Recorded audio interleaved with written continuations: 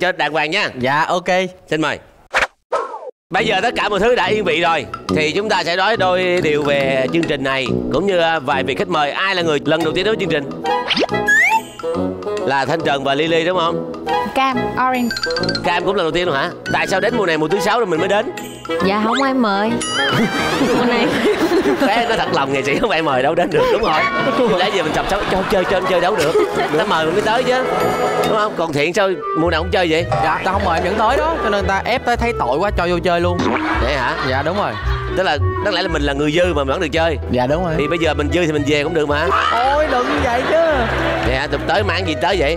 Dạ hôm nay em mang à, tiêu Gừng à, Còn bên đây là ớt ớt ớt là siêu cay? Mình ăn ớt được không?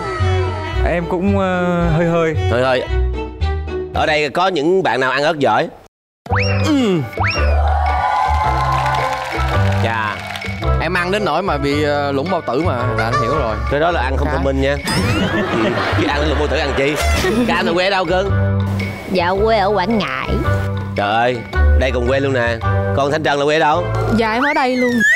Bé trả lời dễ thương quê em ở đây. Gì vậy? Cùng quê, cùng quê, cùng quê, cùng quê, cùng quê, cùng quê. Mình nói tiếng Quảng Ngãi đi. Mất gốc. Nói không được. Đó. Ủa gì kỳ vậy? Thiệt luôn á. Sao chú Giang không hỏi quê con? Hả? Sao chú Giang không hỏi quê con? À, tại chú thấy không cần thiết. Rồi tiếp tục chương trình Thôi đến chơi chứ Quê ở đâu con? Con cùng quê với chú. Ủa, Quảng Nam hả? Dạ Quảng Nam ở chỗ nào?